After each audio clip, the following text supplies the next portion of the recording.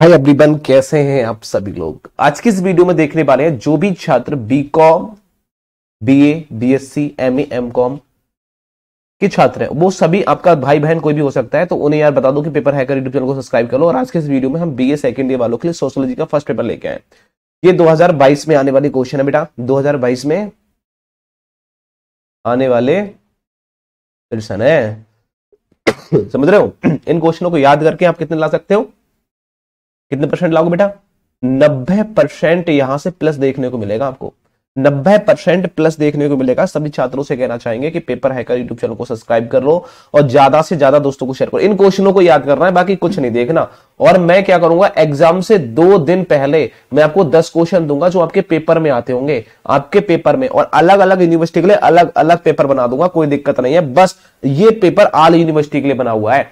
जितने भी यूपी की आल यूनिवर्सिटी है बिहार की सभी यूनिवर्सिटी और उत्तराखंड की यूनिवर्सिटी के चार, तीन स्टेट के लिए इंपोर्टेंट क्वेश्चन है ये। इतने क्वेश्चनों को आपको टिक अपने गैस पेपर नोट्स जो भी है, उस पर टिक लगा लेना है। बाकी कुछ और नहीं देना है। देखना है। बाकी अलग अलग यूनिवर्सिटी के हिसाब से अलग अलग पेपर बना दूँगा। जिन भी यूनिवर्सिटियों में एमसीक्यू क्वेश्चन हो रहे हैं, बहुविकल्पीय क्वेश्चन आ रहे हैं, उनका लिंक डिस्क्रिप्शन बॉक्स में है। एमसीक्यू क्वेश्चन की पीडीएफ को डाउनलोड कर सकते हैं। वहाँ से बाहर कुछ नहीं आएगा। दोस्त, पढ़ लेना अच्छी तरीके से। आपको फेल करने वाला कोई पैदा नहीं है। उन क्वेश्चनों को देख लेते हैं और उनकी भी हम वीडियो प्रोवाइड करा देंगे दो हज़ार बाईस के एग्ज़ाम के लिए, ठीक है? तो आप चैनल को सब्सक्राइब कर बेलाइकन को प्रेस कर दें। देखो, पहला क्वेश्चन है सोशोलॉजी का। पहला जो फ़र्स्ट पेपर है सोशोलॉजी का और इसमें पहला जो पेपर का नाम है, वो है भारतीय समाज मुद्दे और उनकी समस्याएँ तो भारतीय समाज के जो मुद्दे हैं, के मुद्दे और उनकी समस्याएँ क्या क्या है, वो सोशोलॉजी के फ़र्स्ट पेपर में दे रखा है। आपका पेपर का नाम ये है तो आप चेक करिए और अपने गैस पेपर, नोट्स, जो भी है आपके पास में उसमें टिक लगा लीजिए कि इन इन क्वेश्चनों के अलावा आपको कुछ और नहीं पढ़ना है।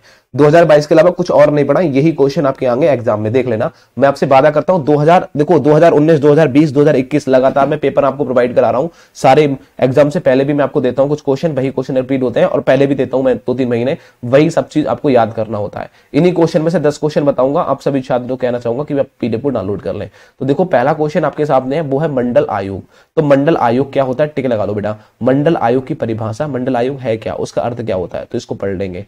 ठीक है? अन्य पिछड़ा वर्ग, उनकी समस्याएँ। देखो, जो अन्य पिछड़े वर्ग हैं, उनकी समस्याएँ क्या क्या है, वो हम पढ़ेंगे। मोस्ट इंपोर्टेंट है। और जातिगत जो कह सकते हैं समानता क्षेत्रवाद क्या है, वो आप देखेंगे। ठीक है? ये मोस्ट इंपोर्टेंट है। जो ससमानता कहते हैं ना, जाति का समानता या फिर ससमानता, उनका क्षेत्रवाद में क्या क्या है सिस्टम वो देखेंगे। मोस्ट इंपोर्टेंट है ससमानता के बारे में देख रहा है ससमानता, ठीक है? जातिगत ससमानता, ठीक है? उनके क्षेत्रवाद के बारे में याद कर लेंगे, या समानताओं के बारे में, ठीक है? नेक्स्ट क्वेश्चन है, लैंगिक विषमता क्या होती है? लैंगिक विषमता, इसको टिक लगाएँगे। ऑल लैंगिक समानता। देखो, एक विषमता और समानता, इनमें अंतर पूछ लेता है, इनके कारण क्या है, इनके प्रकार क्या होते हैं, और किस क्षेत्र में होती है, वो आप याद कर लेंगे, ठीक है? ये सारे क्वेश्चन के वीडियो भी प्रोवाइड कराएँगे, हम यूट्यूब अपने पेपर हैकर यूट्यूब चैनल पर। साथ ही हमारा एक दूसरा चैनल है, जिसका नाम है B A by paper hacker B A by paper hacker जिसका लिंक डिस्क्रिप्शन बॉक्स में है, या जाके सब्सक्राइब कर लो उसको, ठीक है? ये बोला गया है, देखो, उसमें क्या केवल बी ए की ही वीडियो प्रोवाइड कराएँगे हम लोग। यहाँ कह रहा है सामाजिक समानता है अब देखो, समस्याएँ क्या है? उनकी अवधारणाएँ, उनके लक्षण, उनकी समानता भी पूछ लेता है। तो सामाजिक समस्याओं की अवधारणा के बारे में, ठीक है? सामाजिक समस्याएँ कौन कौन सी, उनके क्या लक्षण देखने को मिलते हैं और उसकी विशेषता बताओ। और दलित का अर्थ क्या होता है? दलित कौन, दलित किसे कहते हैं? उनकी समस्याएँ क्या है? दलित लोगों की समस्याएँ क्या है? वो हम याद करेंगे। तो सामाजिक समस्याओं को देखेंगे, उनके लक्षण, उनकी विशेषताओं को देखेंगे और दलित के अर्थ देखेंगे। दलित मतलब दलित की परिभाषा क्या होती है और उनकी समस्याएँ क्या है दलित लोगों की? नेक्स्ट क्वेश्चन है मानव अधिकार क्या होता है? मानव अधिकार, ठीक है? तो मानव अधिकार को याद करेंगे।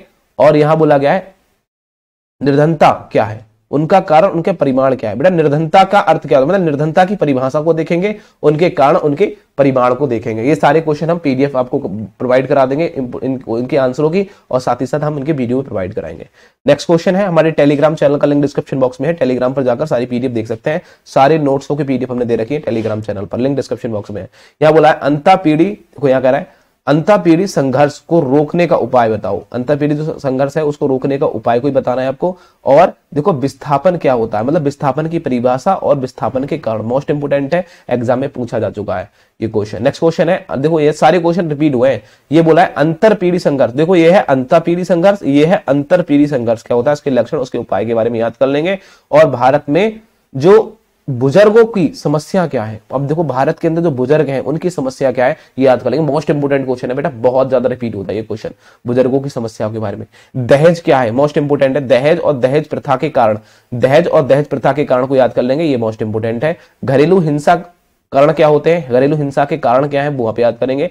मोस्ट इंपोर्टेंट घरेलू में हिंसा मतलब घर में लड़ाई कैसे होती है? वो हमें याद करना है। नेक्स्ट क्वेश्चन है, घरेलू हिंसा अधिनियम 2005 चलाया गया था।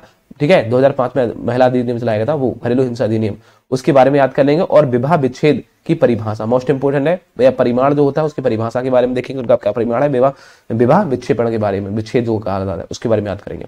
नेक्स्ट क्वेश्चन टिक लगाएँगे, ठीक है, मूल्यों के संकट, देखो यहाँ कह रहे हैं मूल्यों के संकट के बारे में, मूल्यों के संकट के लिए हम सामाजिक मूल भी कहते हैं, मूल्यों के संकट के लिए सामाजिक मूल्य कहते हैं तो सामाजिक मूल के महत्व, उनके प्रकार को देखेंगे, ठीक है, क्या है?